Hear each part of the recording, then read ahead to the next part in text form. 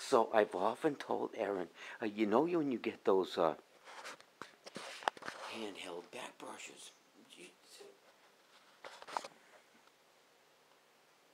how do you get them into position? Yeah, you get the top a little bit, but not much. So I said, how about a pad that sticks against the wall of the shower, and all you gotta do is rub your back up against it. I haven't seen one online. What a good idea.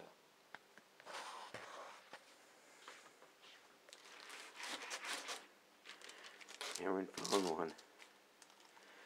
She bought one.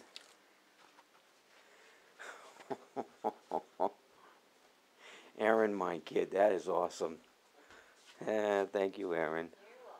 I couldn't find one. I figured, oh shit, what an invent, what an inventation.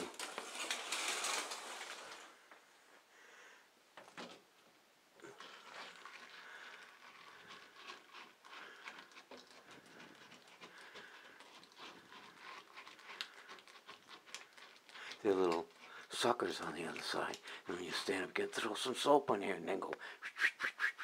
Look at that. Oh. Somebody already invented what I want to make millions on, but that's cool beans.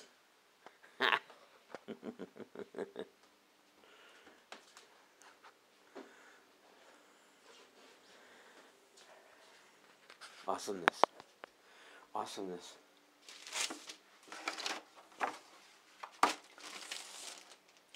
Take that stuff. Alright, I think I'm gonna start cleaning up a little bit here in the kitchen. Okay, you guys, uh, no metal. None.